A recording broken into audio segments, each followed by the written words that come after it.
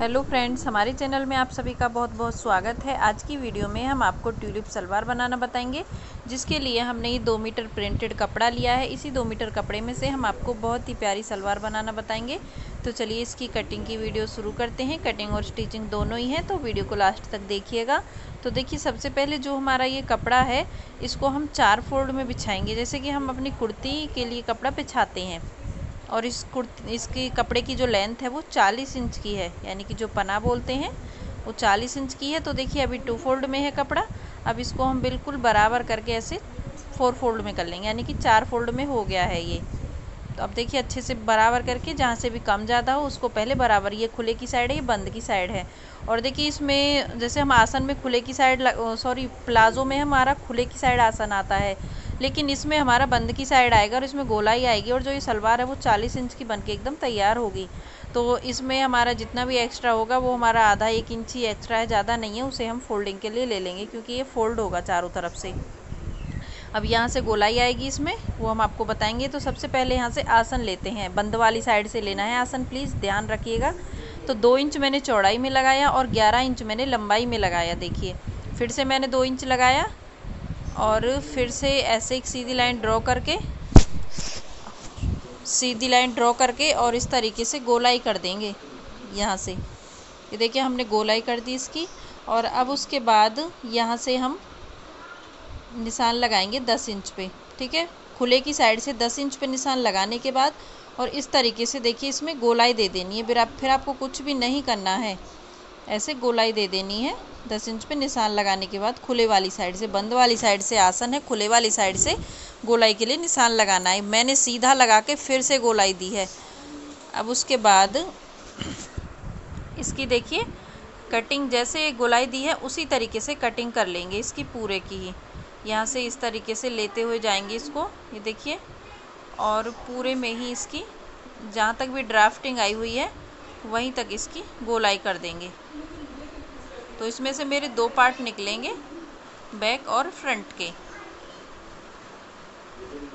ये थोड़े बहुत धागे वगैरह हैं उनको हम यहाँ तक कट करके इसको यहाँ से छोड़ देंगे। अब इसका आसन कट कर लेते हैं। तो ये आसन बंद वाली साइड से होगा और जो पार्ट ऊपर से बंद हैं, ये वाले जहाँ से हमारी बेल्ट आएगी, वहाँ से भी इसको हम ओपन कर लेंगे।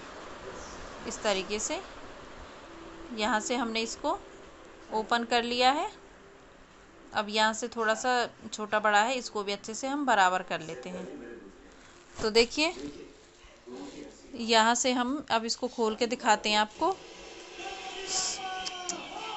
तो देखिए, यहाँ से देखिए इस तरीके से दिखाई देगी हमारी सलवार आपको।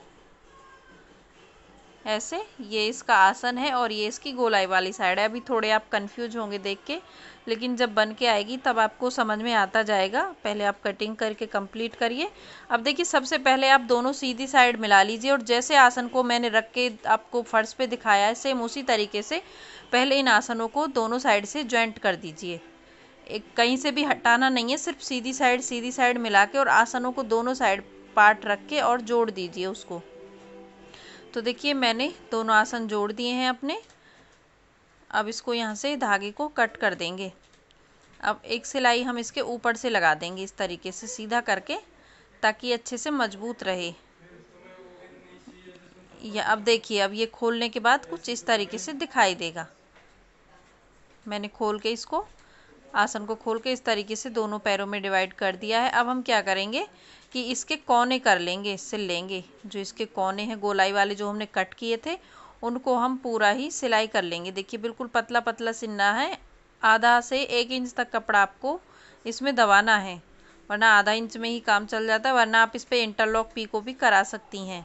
और ये मेरी थोड़ी खुली सलवार होगी, ये दो तरीके से बनती है। एक थोड़ी टाइट बन मतलब कि थोड़ी बंद बनती है और एक थोड़ी खुली तो ये थोड़ी खुली वाली है। तो देखिए, मैंने चारों कोने इसके मतलब ये वाले भी और दोनों साइड के दिख रहे होंगे आपको। अब इसे करना कैसे है, वो आप अब तरीका आप देखिए।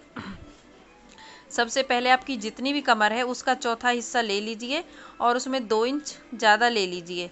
तो देखिए, मैं यहाँ से निशान लगा रही हूँ दस इंच पे। जैसे हमारी कमर है चालीस चालीस का आएगा दस और दस में दो इंच एक्स्ट्रा।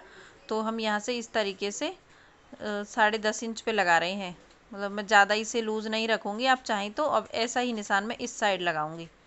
अब इन दोनों को हम इस तरीके से मिला के और यहाँ पे ऐसे पकड़ के दोनों पार्ट को अब हम यहाँ पे ऐसे कट लगा देंगे ताकि हमें ये पता रहे कि हमें यहाँ तक इसमें अपनी बेल्ट लगानी है। अब देखिए मैंने ये चारों पार्टों पे हमारे कट आ गई हैं।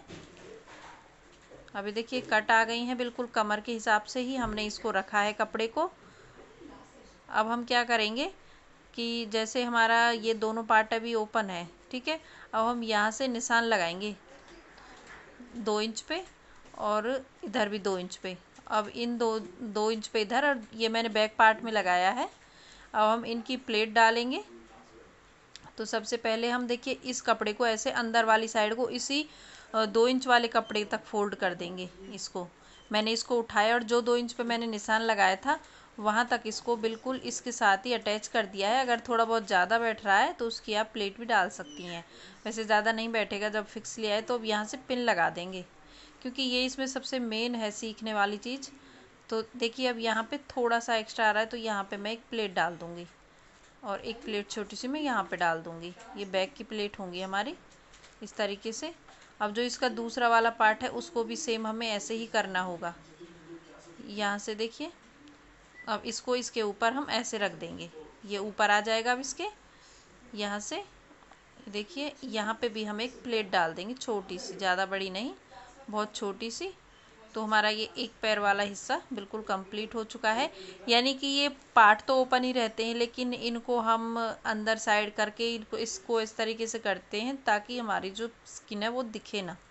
तो देखिए, अब हम इसको भी ऐसे अंदर की साइड मोड़ना है। प्लीज़ आप फिर से देखिए, मैंने अंदर की साइड मोड़ा है। जो मैंने दो इंच पे निशान लगाया था, वहाँ तक ही मुझे मोड़ना है। ये देखिए, वो दो इंच कपड़ा छोड़ के फिर उसके बाद जितना भी बच रहा है, उतने में देखिए दो इंच मेरा छूट रहा है। मतलब मैंने दो इंच पे निशान लगाया आसन से तो वहाँ से मैंने छोड़ के फिर जितना भी कपड़ा बचा है उसमें मैंने प्लेट डाल दी हैं।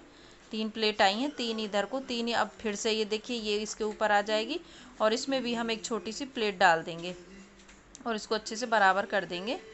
तो देखिए, एक प्लेट में यहाँ पे डाल दूँगी ऐसे और यहाँ पे भी पिन लगा दूँगी क्योंकि यही इसमें सीखने वाली चीज़ है, बाकी इसमें कुछ भी नहीं है। अगर आप ये दो तीन चीज़ सीख जाओगे तो आपको कभी भी दिक्कत नहीं आएगी ट्यूलिप सलवार बनाने में।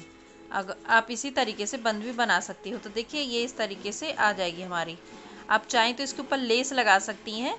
लेस लगा के भी बहुत अच्छी लगती है। अब हम क्या करेंगे कि देखिए, इसको सिलाई करेंगे। यहाँ से इसको सिलाई करेंगे।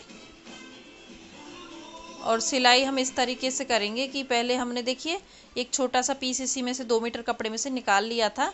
इसको, इसकी जो चौड़ाई है वो मेरी तीन इंच है। अब डेढ़ इंच रह जाएगा। देखिए, मैं इसको इस तरीके से रख रही हूँ, बिल्कुल आसन से आसन से बिल्कुल फोल्ड करके, डबल फोल्ड में, बेल्ट में अलग से लगा रही हूँ उसमें तो अब ये डेढ़ इंच की बेल्ट हो जाएगी मेरी, तीन इंच लिया था तो फोल्ड होके।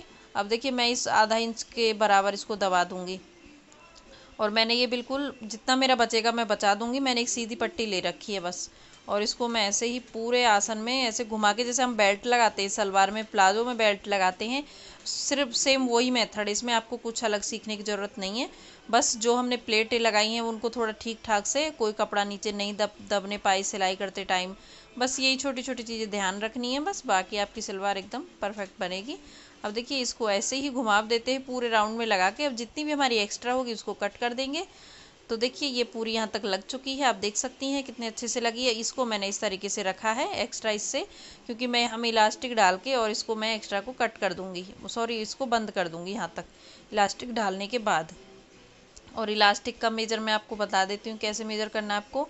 अपनी कमर को नापिए और अपनी कमर से आपको तीन या चार इंच कम लेनी है इलास्टिक और उसको थोड़ा खींच के ही लगाते हैं। जितनी चौड़ी आपने इलास्टिक ली है, उतनी ही चौड़ी आपको ये बेल्ट रखनी है। तो देखिए मेरी इलास्टिक है, ये भी करीबन एक डेढ़ इंच चौड़ी है तो ये मैंने बेल्ट के बराबर ही ली है। अब इसको हम इस तरीके से सेफ्टी पिन की सहायता से पूरे में डाल लेंगे, जैसे नाड़ा डालते हैं। अब देखिए, हमने पूरी डाल ली है। अब इसको हम यहाँ से बिल्कुल अच्छे से लॉक करके और जो हमारा थोड़ा सा ओपन हिस्सा है, उसको भी इसके साथ ही हम सिल के और बंद कर देंगे बिल्कुल। फिर हम आपको इसका फाइनल लुक दिखाएँगे। तो आप भी प्लीज़ अगर थोड़ा बहुत भी कहीं पे आपको समझ में नहीं आया हो तो मुझे कमेंट करके बताइएगा। मेरे से जितना बन सकेगा मैं आपको अच्छे से समझाऊँगी। और वैसे मैंने पूरी पूरी कोशिश की है कि आप बना के, पहन सको इस सलवार को, क्योंकि और इसकी जो दूसरी डिज़ाइन है, वो भी मैं आपको बताऊँगी। देखिए, इस तरीके से। तो देखिए, बनने के बाद में इस तरीके से आई है ये। देखिए, हवा से थोड़ी उड़ रही है, बाकी एकदम सेट है ये। तो हमें उम्मीद है कि आपको हमारा ये सलवार का डिज़ाइन ज़रूर पसंद आएगा। देखिए, इस तरीके से बहुत ही प्यारी लगती है। टॉप के साथ पहनिए, किसी के साथ भी पहनिए। और मैं आपको जो दूसरा डिज़ाइन बनता है, वो भी ज़रूर बताऊँगी। प्लीज़ वीडियो को लाइक, शेयर, चैनल को सब्सक्राइब करें। वीडियो देखने के लिए धन्यवाद आप सभी का।